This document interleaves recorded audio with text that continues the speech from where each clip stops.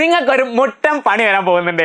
അത് എന്ത് പണിയാന്ന് അറിയാൻ വേണ്ടിയിട്ടാണ് നിങ്ങൾ ഒരു ലിങ്ക് ക്ലിക്ക് ചെയ്ത് ഈ ഒരു വീഡിയോ കാണുന്നത്. അപ്പോൾ മക്കളെ ലിബാൻ സാറാണ് വെൽക്കം ടു എച്ച് പോട്ട് നിങ്ങൾക്ക് പ്ലസ് വണ്ണിൽ ആറ് സബ്ജക്ട്സ് പഠിക്കാനുണ്ടല്ലേ? അതിൽ നിങ്ങൾക്ക് പണി കിട്ടാൻ സാധ്യതയുള്ള സബ്ജക്റ്റ് ഏതാണോ അത് നിങ്ങൾ താഴെ കമന്റ് ചെയ്യുക. അഥവാ നിങ്ങൾക്ക് ഏറ്റവും ഡിഫിക്കൽട്ട് ആയ സബ്ജക്റ്റ് ഏതാണ് അല്ലെങ്കിൽ ഏറ്റവും കൂടുതൽ മാർക്ക് കുറയാൻ സാധ്യതയുള്ള സബ്ജക്റ്റ് എന്ത് ചെയ്യാം നിങ്ങൾ താഴെ കമന്റ് ചെയ്യുക. എസ് എസ് എൽ സിക്ക് നിങ്ങൾക്ക് ഓൾമോസ്റ്റ് എല്ലാ പേപ്പറിലും നല്ല മാർക്ക് കിട്ടാൻ എളുപ്പമാണ് സിമ്പിളാണ് പക്ഷേ പ്ലസ് വൺ അങ്ങനെയല്ലല്ലേ? കുറച്ച് ബുദ്ധിമുട്ട്. എല്ലാ സബ്ജക്റ്റും നല്ല ഡിഫിക്കൽട്ടാണ് ഏതിലാണ് നല്ല മാർക്ക് വാങ്ങാന്നുള്ളത് നിങ്ങൾക്ക് തന്നെ പറയാൻ പറ്റില്ല. കാരണം എങ്ങനെയായിരിക്കും ഇതിന്റെ മാർക്ക് അല്ലേ എങ്ങനെ വെയിറ്റേജ് വരുന്നുണ്ട്? എങ്ങനെ നിങ്ങൾക്ക് മാർക്ക് നേടാം? എന്നുള്ള കാര്യം പ്രോപ്പറായിട്ട് നിങ്ങൾക്ക് അറിയില്ല. കാരണം നിങ്ങൾ എന്ത് ചെയ്തില്ല?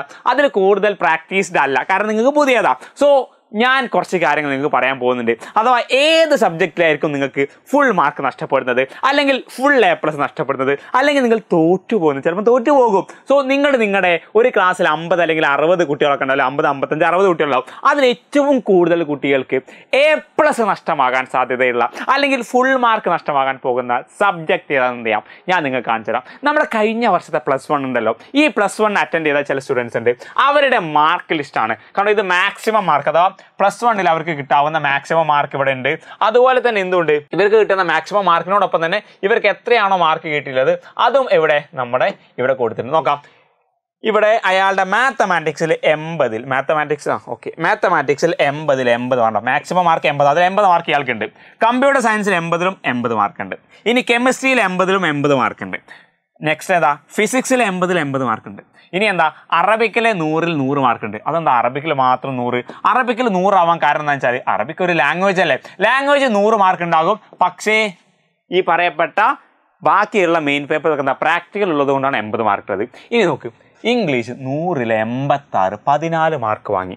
നിങ്ങൾക്ക് ആർക്കെങ്കിലും തോന്നുന്നുണ്ടോ? ഫിസിക്സ് അതുപോലെ മാത്സ് കെമിസ്ട്രി ഇതിനേക്കാൾ ഡിഫിക്കൽട്ടാണ് ഇംഗ്ലീഷ് എന്നുള്ളത്. ഇംഗ്ലീഷ് വായിക്കാൻ അറിയാത്ത ആൾക്കാരാണോ? അല്ലെങ്കിൽ ഇംഗ്ലീഷ് എഴുതാൻ അറിയാത്ത ആൾക്കാരാണോ? ഇംഗ്ലീഷ് പറയാനും സംസാരിക്കാനും പ്രസംഗിക്കാനും എഴുതാനൊക്കെ നന്നായി അറിയുന്ന കുട്ടികൾക്കടക്കം എന്തുണ്ടാകും? ഇംഗ്ലീഷിൽ എ പ്ലസ് പോലും കിട്ടൂല. അതേപോലെ നോക്കൂ. ഇവിടെ ബാക്കി എല്ലാത്തിനും ഫുൾ മാർക്കാണ് പക്ഷേ ഇംഗ്ലീഷിൽ എൺപത്തേഴ് മാർക്ക് മാത്രമേ കിട്ടിയിട്ടുള്ളൂ. ഇനിയുണ്ട് ഒരുപാട് കുട്ടികൾ. തൊണ്ണൂറ്റിനാല് മാർക്ക് ഇംഗ്ലീഷിൽ മാത്രം എന്തുണ്ട് തൊണ്ണൂറ്റിനാല് മാർക്ക് ബാക്കി എല്ലാത്തിലും എന്തുണ്ട്?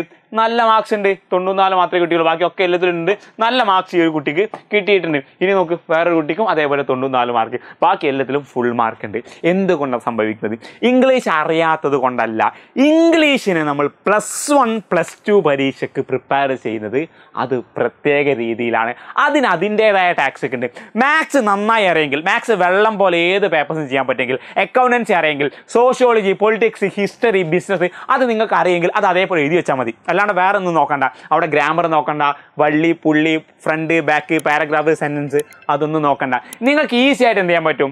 ഇവിടെ മാർക്ക് നിങ്ങൾ സ്കോർ ചെയ്യാൻ പറ്റും. പക്ഷേ ഇംഗ്ലീഷിൽ അങ്ങനെ നിങ്ങൾക്ക് എന്ത് ചെയ്യില്ല? പറ്റില്ല കാരണം എന്താ?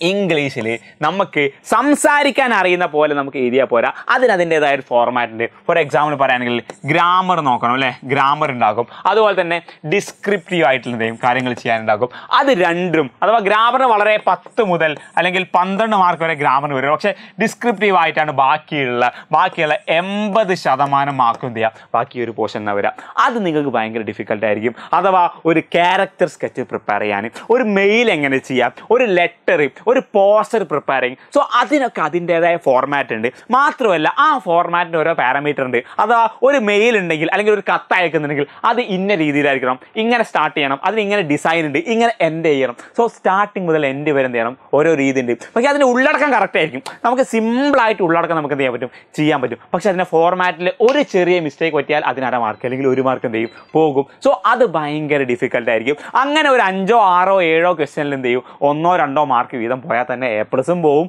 ഫുൾ മാർക്കും പോവും. നല്ല മാർക്ക് എന്ത് ചെയ്യും? നമുക്ക് ഇംഗ്ലീഷിൽ എന്ത് ചെയ്യും? മിസ്റ്റേക്ക് പറ്റും. സോ അങ്ങനെ നിങ്ങൾക്ക് മിസ്റ്റേക്ക് പറ്റാതിരിക്കാൻ വേറെ ഒരു സബ്ജക്റ്റിൽ നമ്മൾ ഇങ്ങനെ എന്ത് ചെയ്യുന്നില്ല? പ്രത്യേകം പറയുന്നില്ല. പക്ഷേ ഇംഗ്ലീഷ് നിങ്ങൾക്ക് മിക്കവാറും മാർക്ക് കുറയുമെന്ന് ഉറപ്പുള്ളത് കൊണ്ടാണ് ഇംഗ്ലീഷ് നമ്മൾ ഈ ഒരു വീഡിയോ ചെയ്യുന്നത്. സോ ഇംഗ്ലീഷ് നിങ്ങൾക്ക് ഈസി ആയിട്ട് ചെയ്യാനും നല്ല മാർക്ക് വാങ്ങാനും ഫുൾ മാർക്ക് വാങ്ങാൻ വേണ്ടിയിട്ട് നമ്മൾ എന്ത് ചെയ്യുന്നുണ്ട്?